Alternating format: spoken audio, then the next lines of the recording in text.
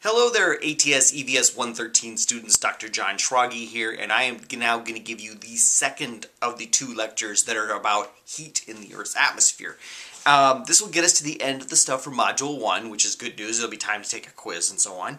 And, um, you know, we're going to be talking in this class, uh, this lecture here, about what's determining the amount of shortwave down that actually, you know, radiation from the sun, solar radiation, that makes it to the surface of the Earth and we're going to talk about what determines the amount of long wave down, what determines the amount of long wave radiation that comes from the sky and reaches the surface of the Earth. Both of those down properties, long wave down and short wave down, refer to at the surface of the Earth. We're also going to then use that information to talk about things like climate change and the Kyoto Protocol and the much newer Paris Agreement. So basically, just to review a slide that we saw last time, we were building this slide on the left-hand side that was about the the radiation budget of the of the Earth, and there was long wave and short wave radiation and so on. Uh, all of which, if you're a survivor of ATS EVS 105, the climate change course, you learned about in considerably more detail at that time. And we're going to be trying to figure out what determines the amount of shortwave radiation that reaches the surface of the Earth and what determines the amount of longwave radiation that reaches the surface of the Earth. So let's dwell first on what determines the amount of shortwave radiation that reaches the Earth. And fundamentally, it's going to depend on two properties. Um, something we're going to call the noon sun angle, which is going to be a measure of how high in the sky the sun gets on any given day and at any given location, and the length of daylight, how long the sun is actually up my, my six-year-old son always wants to know why is it hot today when he's talking in the summer, why is it cold today in the winter, and most of the time the answer I can give him that makes him happy is I tell him that it's about how long the sun is up. The longer the sun is up, the more the ground heats up. We're going to need to figure out this business of sun angles kind of confuses my six-year-old, but you'll get it under control just fine. But both of those ideas, length of daylight and noon sun angle, are fundamentally about both the latitude of the location you're talking about and what day of the year it is. And to understand that, let's just dwell for a second here on some of these basic ideas. What do I mean by noon sun angle? So on this diagram here that I got from a different printing of your textbook, you can see how, um, you know, they're trying to illustrate the path through the sky that the sun took on a given day, uh, both in June and in December, and you can see how the sun gets much higher in the sky in June than in December, but uh, regardless of what day of the year it is, of course the sun starts on the horizon, it gets higher in the sky until about local noon, and then it gets lower in the sky until sunset. To quantify how high in the sky the sun is, we use this idea of noon sun angle, meaning the highest the sun will get in the sky on that day. It doesn't necessarily happen exactly at noon 1200 on your clock, but we call that the noon sun angle. And the noon sun angle is going to turn out to be important because it's going to be determining a property called the beam spreading. How much ground a certain quantity of sunlight needs to warm up. And again, this comes from an earlier printing of your textbook, although I believe your printing has a similar figure. But I want to show you um, at these three different locations how Uh, the noon sun angle is affecting the beam spreading. And it's going to work best if I kind of zoom in on these diagrams one at a time. So this first diagram here is supposed to look like a, a, tropical location, see the palm trees and so on. And at this location, we're trying to show that the sun is directly overhead at noon, which is not in general the case. Most of the time, at most locations on Earth, the sun is not directly overhead at any time of the day, including at noon. It'll be as high as it's going to get at noon, but in general the sun is not directly overhead at noon. But in this location it is, and the sun is coming from directly overhead. We are measuring noon sun angle in terms of how high above the horizon the sun is, and in this case the sun is 90 degrees above the horizon, it's directly overhead. Now what we're trying to illustrate here on this diagram here is how, like, look at the distance between those little beam, those little um, those little uh, yellow lines on the diagram there. We're calling that a beam, okay? This is not a technical term or anything like that. They're just trying to say, you know, here's a beam of sunlight and it is this distance, one unit from one like ray to the next, okay? We're just trying to say, trying to have a little thought here. And notice that a beam of sunlight one unit wide is hitting the ground and warming up an area on the ground one unit wide when the sun the sun's rays are focused onto just a little area on the ground. And then the next beam warms up one unit you know maybe that's one meter wide area on the ground. And the next beam of sunlight warms up one uh, an area one wide one unit wide. To understand why that's important let's move over to the next one location with a barn This is supposed to be someplace in the mid latitudes, maybe at the latitudes of like Omaha or something like that.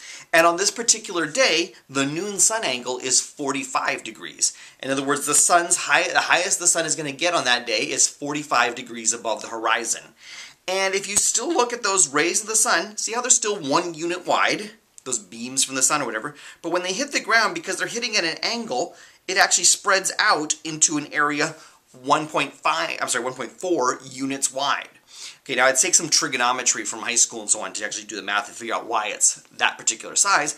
But see how the same amount of rays of energy from the sun, a beam one unit wide, has to spread out over a larger area of the ground. Um, the same amount of heat and shortwave radiation from the sun is spreading out over a larger area. It just can't heat that area up as much. So we would expect that this, where this barn is, would be getting less shortwave radiation down, shortwave down, than the tropical location in the first figure is. And to illustrate that even farther, let's go to this third location here, which has got this igloo. And at this location of the igloo, let's say that its noon sun angle was only 30 degrees above the horizon. The highest the sun got on that particular day is only 30 degrees above the horizon. Again, the sun isn't like sending colder radiation towards the pole or something like that. One unit wide beam of sunlight carries just as much heat at the pole as it does at the equator. But now that one unit wide beam of heat, look when it hits the ground. Again, it takes trigonometry to prove it, but it has to spread out over area two units wide. The shadows are longer. The same amount of heat has to warm up a bigger area.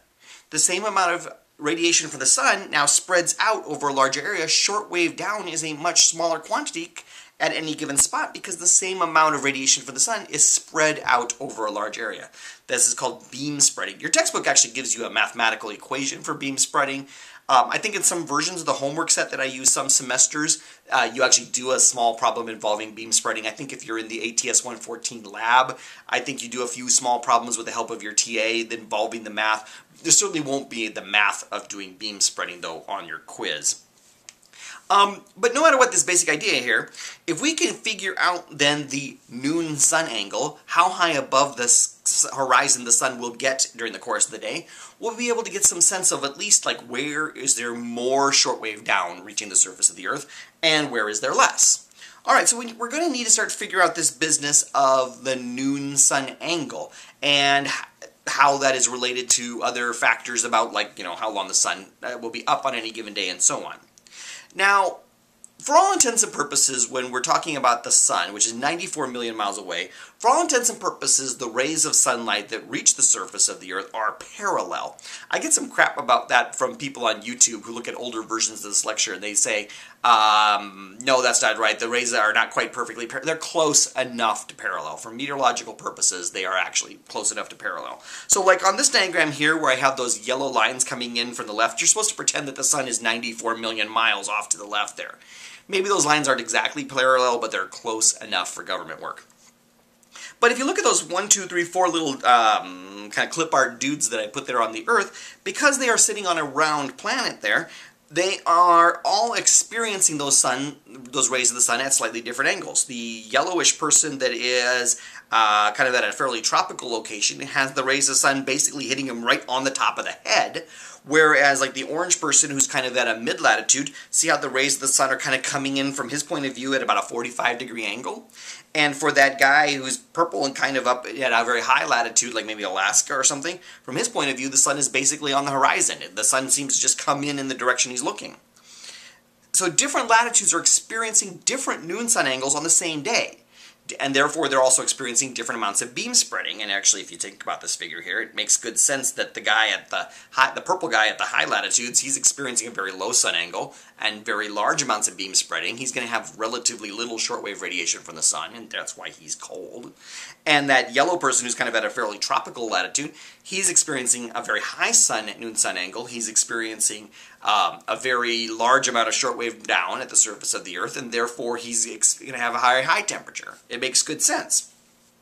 Now, to actually get to the details of this, we need to understand a few things about the Earth's orbit around the Sun in a topic that is technically known as Earth-Sun geometry, which sounds a little, I mean, everyone hates that word geometry, but we're going to kind of keep it to just the bare minimum here, but just that we're using the right word. This idea about how the orbit of the Earth is set up and so on is called Earth-Sun geometry.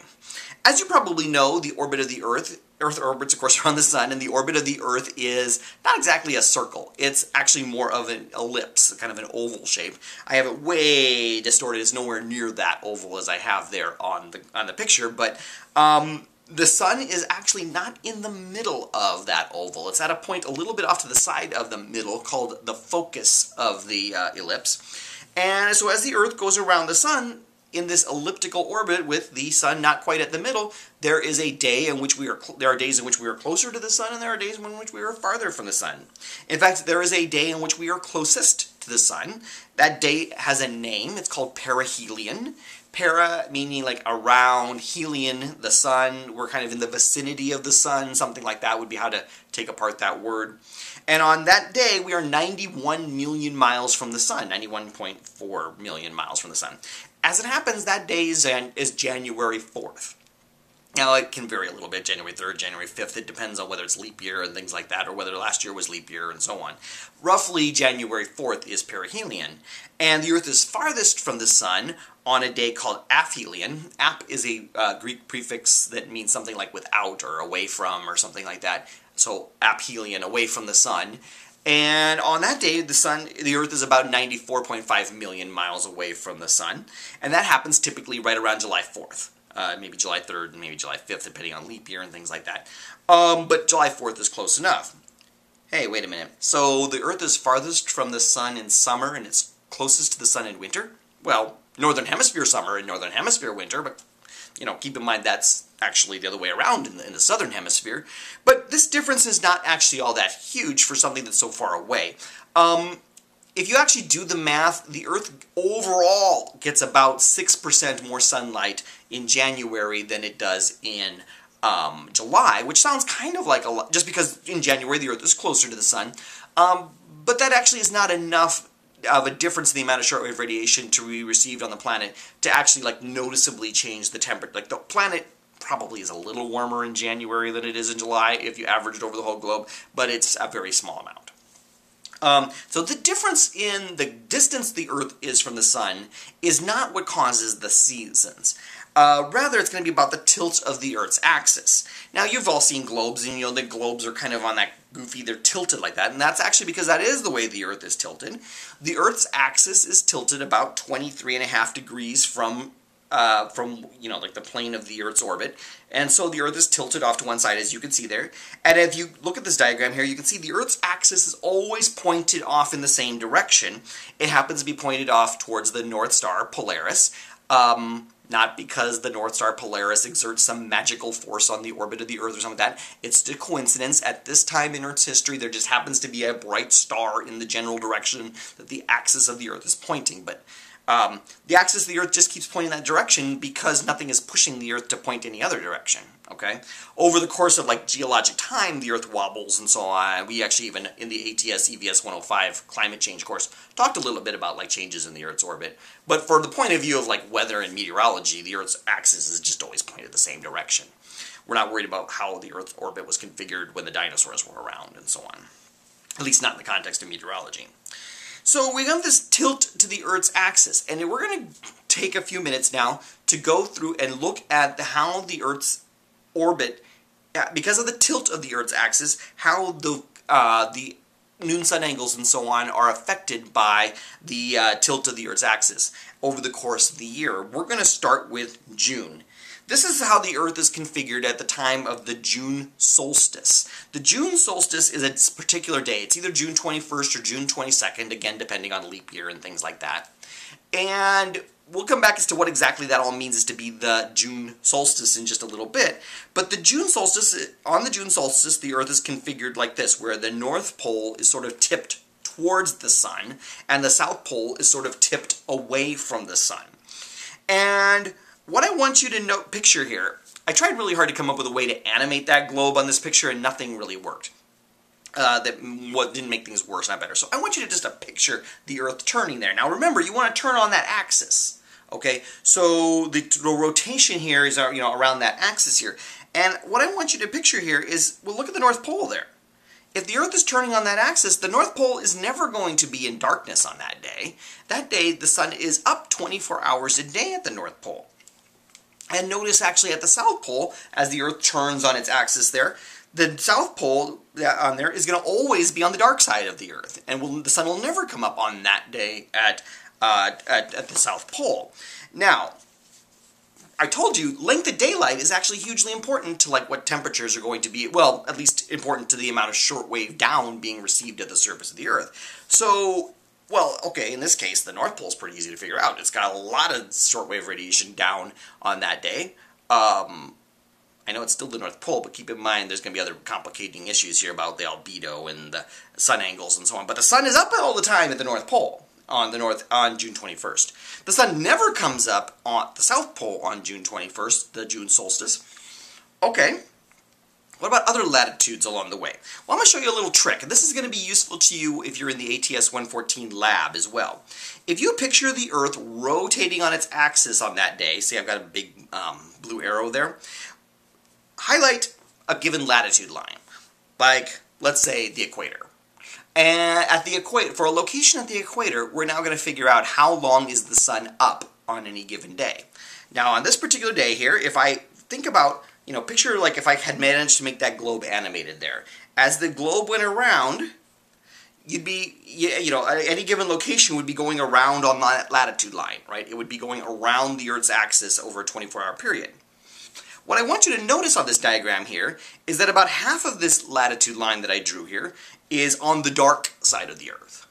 And at the same time, look at there, a half of that line that I drew is on the light side of the Earth, the daylight side of the Earth. So uh, we can say on this particular day, June 21st, at the equator, since half of that line is in the darkness and half of that line is in the light, we're going to estimate that there's about 12 hours of darkness and 12 hours of daylight on that particular location. It's just an estimate, but it'll be adequate to the purposes of both this class and the ATS 114 lab. In contrast, let me highlight another latitude. This is about 40 degrees north, roughly the latitude of Omaha. And if I highlighted this latitude here and looked at it here, see how only about, on this day, only about one-third of that line is on the dark side of the Earth, and about two-thirds of that line is on the daylit side of the Earth? So again, it's just an estimate here. That's all we're doing here is just coming up with an estimate. Obviously, there are ways to do a huge amount of math and actually figure this out, but we're not going to do that in this class. But for this location, along that latitude line, any place that's at about 40 degrees north on June 21st, we're going to say that about one-third of the day, or about 8 hours, will be in darkness, and about two-thirds of the day, or about 16 hours, will be in daylight. So we're going to be getting more hours of daylight than the equator was okay? And in fact, if I pick someplace even farther north, north of the Arctic Circle as it happens, you know, maybe this is 80 degrees north or something like that, notice how no part of that line is on the dark side of the Earth, and notice how all of the line is on the daylit side of the Earth. And as a consequence, at that location, we can say, at let's say 80 degrees north on June 21st, there will be 24 hours of sunlight. The sun will never set on that day at whatever, let's say that's 80 degrees north or something like that. Oh, that's all. That's all we're gonna do. Like if you're in the in the 114 lab, it's you're gonna just be setting up a diagram like this where you're gonna kind of color in. You're gonna illustrate which side of the globe is in the darkness and which side of the globe is in the daylight on your on your particular day, and then you'll draw these latitude lines, and you'll be able to infer from that things like. Um, you know, approximately how many hours of daylight and approximately how many hours of darkness there is. Now, before we move forward with this just too much further, let's take a quick, uh, couple quick questions just to illustrate this. Um, the Earth. The Earth is closest to the Sun in January, April, July, or October. When is that date that the Earth is closest to the Sun? Make a choice from those four options and get a little feedback before you move on to question two.